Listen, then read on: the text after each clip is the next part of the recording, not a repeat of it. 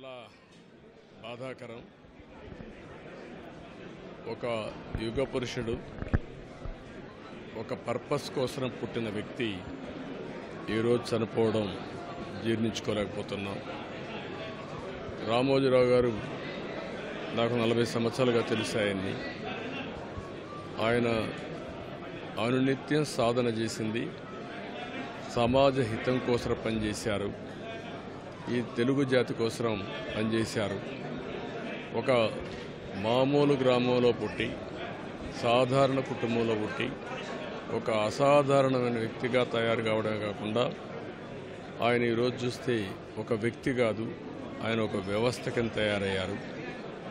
ఆ రోజు ప్రారంభించింది మనం ఒకసారి చూస్తే మార్గదర్శితో ప్రారంభించి మార్గదర్శి అయిన తర్వాత ఈనాడు ప్రారంభించి అదే మాదిరిగా ప్రజా చైతన్యాన్ని మనం చూస్తే ఈరోజు రాష్ట్రంలో ఏ ఇంట్లో కూడా నిద్ర లేస్తానే ఈనాడు చదివితే తప్ప బయట వచ్చే పరిస్థితి ఉండదు. అంటే ఆ విధంగా ప్రజల్ని చైతన్యవంతులు చేయడానికి కానీ విజ్ఞానవంతులు చేయడానికి కానీ ఆయన నిత్యం సాధన చేశాడు. ఆయన ఏ పని చేసినా కూడా నేను మొదటి నుంచి కూడా చూశాను. రాజీ లేదు.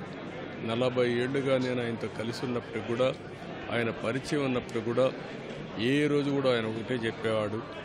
మీరు ఏమి చెప్పినా నేను మాత్రం ధర్మం ప్రకారమే పనిచేస్తాను. విధి నిర్వహిస్తాను తప్ప నేను ఎల్లప్పుడూ ప్రజాపక్షానే ఉంటానని చెప్పి స్పష్టంగా చెప్పిన వ్యక్తి రామోజీరావు గారు. అంతేకాకుండా నిన్న చనిపోయే వరకు ఆయనకు ఒకటే కోరిక. నా కోరిక అంతా కూడా నేను అనునిత్యం పనిచేసి పని చేస్తూ పనిలో చనిపోగలిగితే అది నాకు ఆనందంగా ఉంటుంది. అంతేకాదు నేను చేసే ప్రతి నిమిషం నేను బ్రతుకున్నంత వరకు ప్రజల కోసం పనిచేయాలి పని చేస్తూనే ఉండాలని చెప్పిన వ్యక్తి రామోజీరావు గారు. కానీ ఆ రోజు ఈరోజు మనం చూస్తూ ఉంటే ఆయన నిర్మించిన వ్యవస్థలు శాశ్వతం. ఒక ఈనాడు శాశ్వతం. అదే మరి ఈటీవీ శాశ్వతం. ఇది కాకుండా చిత్ర పరిశ్రమ కూడా ఎనలేని సేవలు అందించాడు. ఈరోజు రామోజీ ఫిల్మ్ సిటీ మీరు చూస్తే దేశంలోనే ఒక అత్యున్నతమైన స్టాండర్డ్స్లో రామోజీ ఫిల్మ్ తీసుకు ఫిల్మ్ సిటీ తీసుకొచ్చి ఆయన అనునిత్యం చెప్పేవారు నేనేదో ఒక కమర్షియల్ కాంప్లెక్స్ కట్టచ్చు వ్యాపారాలు చేయొచ్చు నా వల్ల ఈ సిటీకి లాభం రావాలి అదే మరి రాష్ట్రానికి ఆదాయం రావాలి టూరిజం కింద ఉండాలని చెప్పి చేశారు. అలాంటి ఒక మహానాయకుడిని ఈరోజు పోగొట్టుకున్నాం. తెలుగు జాతి వెలుగు తెలుగు వారి గుండెల్లో చిరస్థాయిగా ఉండే వ్యక్తి అలాంటి వ్యక్తిని పోగొట్టుకోవడం చాలా బాధ అనిపిస్తుంది. ఏదేమైనా ఆయన ఇచ్చిన స్ఫూర్తి ఉంది. నా జీవితంలో ఎన్నో సంఘటనలు. నాకు ఎప్పుడైనా క్లిష్టమైన సమస్య వస్తే ఆయనతో నేను కన్సల్ట్ చేస్తే దాన్ని ఏం చేయాలనో ధైర్యాన్ని చే వ్యక్తి అతను. అందుకే మొన్న కూడా మీరు చూస్తే ఎన్నికలు ఎప్పుడు ఎన్నికలు వచ్చినా కూడా ఆయన ధర్మాన్ని ఆయన నిర్వహించాడు. ఆయన ఎప్పుడు కూడా ధర్మం సైడే ఉన్నాడు. అదేవిధంగా పనిచేశారు. అందుకే ప్రజల్లో కూడా ఒక అచంచలమైన విశ్వాసం ఆయన పైన. దానికి కారణం ఆయన జీవితం మొత్తం ఆయన సంపాదించిన విశ్వసనీయత. అలాంటి వ్యక్తిని పోగొట్టుకోవడం చాలా బాధేస్తుంది. ఏదేమైనా ఆయన ఆశయాలు తెలుగు జాతికి ఉన్నాయి.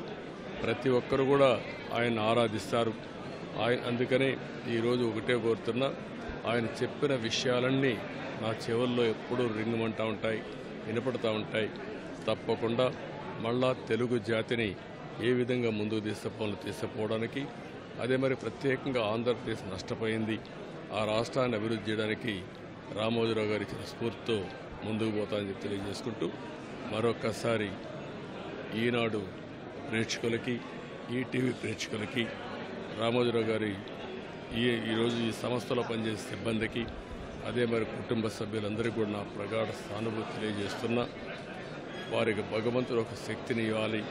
ఆ శక్తితో మళ్ళీ ఈ లెగసీని కంటిన్యూ చేసి రామోజీ గారి యొక్క స్ఫూర్తి చిరస్థాయిగా ఉండడం కోసం వాళ్ళు పనిచేస్తారని చెప్పి ఆశిస్తున్నా.